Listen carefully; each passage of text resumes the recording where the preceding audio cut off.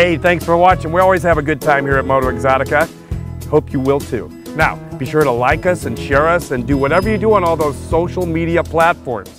We're on all of them. So, thanks again and get out and drive.